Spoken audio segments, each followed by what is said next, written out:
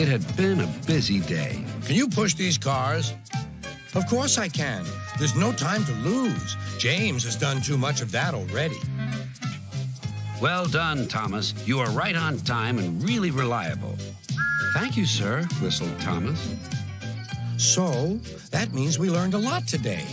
We're really useful engines after all.